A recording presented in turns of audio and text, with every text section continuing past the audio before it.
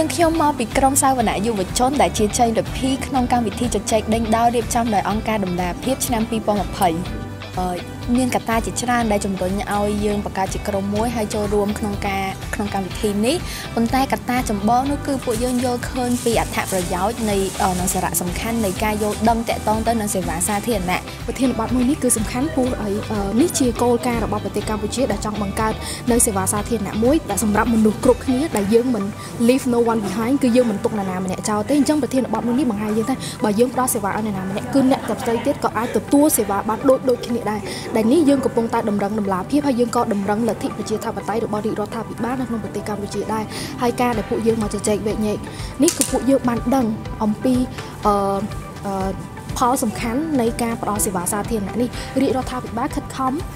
បង្ខិតសេវាមកឲ្យចិត្តប្រជាជនប៉ុន្តែនៅក្នុងពេលនេះក៏វាមានបញ្ហាគួបនឹងជាមួយនឹងដែរតែយើងអាចដោះស្រាយបញ្ហារបៀបម៉េចនេះហើយគឺជាចម្ងល់ឬក៏នេះហើយជាដំណោះស្រាយដែលពួកយើងត្រូវរកជាពិសេសនៅក្នុងវេទិកាជជែកវែកញែកមួយនេះ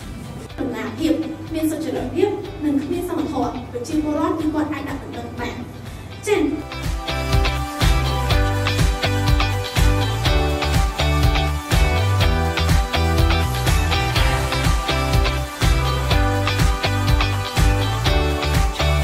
បីលើកកម្ពស់ក៏ដូចជាពង្រឹងអំណាចយុវជនជាពិសេសស្ត្រីនៅក្នុងការចូលរួម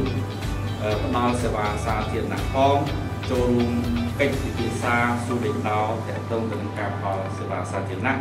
ជាពិសេសគឺការពង្រឹងគណនេយ្យភាពនៃការផ្ដល់សេវាហ្នឹងហើយឆ្លៀតក្នុងឱកាសនឹងដែរកម្មវិធីគឺមានគោលបំណងចង់បង្កើតបរិយាកាសមួយដែលផ្ដល់ឱកាសឲ្យយុវជន ក្នុងការជជែកវែកញែកដេញដោលទៅលើប្រធានបទដែលយើងជ្រើសរើសឲ្យគាត់ធ្វើការសិក្សាស្រាវជ្រាវនេះផងដែរក្នុងគោលបំណងដើម្បីបញ្ជ្រាបចំណេះដឹងទាំងអស់ហ្នឹង ទៅឲ្យសាធារណជនដែលគាត់មកតាមដានទស្សនានៅក្នុងកម្មវិធីជជែកដេញដោលផ្ទាល់ក៏ដូចជាការទស្សនានៅតាមគេហដ្ឋានទៅតាមរយៈការផ្សាយផ្ទាល់របស់ page អង្គការដំណាភិបកម្ពុជាផងដែរនៅពេលតែមួយនឹងដែរគឺគាត់បានផ្ដល់ជាអនុសាសន៍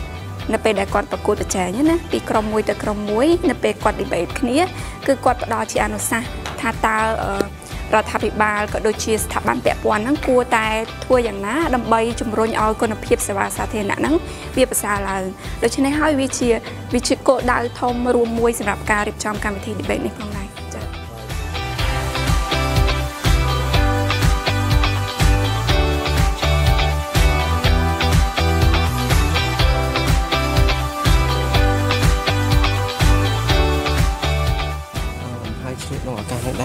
ដែរខ្ញុំក៏ចង់សំណូមពរហើយនៅលើកទឹកចិត្តទៅដល់យុវជនចំនួនក្រៅដែលជាទំពាំងស្នូលរិស័យហ្នឹងក៏ឲ្យសូមឲ្យគាត់ខិតខំស្វះស្វែងរកចាប់យកឱកាសហើយរៀនសូត្របន្ថែមអំពី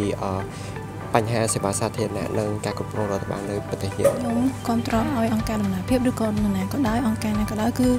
រក្សាធ្វើในកម្មវិធីនេះឡើងដោយសារតែខ្ញុំគិតថាកម្មវិធីនេះគឺជាកម្មវិធីមួយដែលជួយពង្រីកចំណេះដឹងទៅដល់យុវជន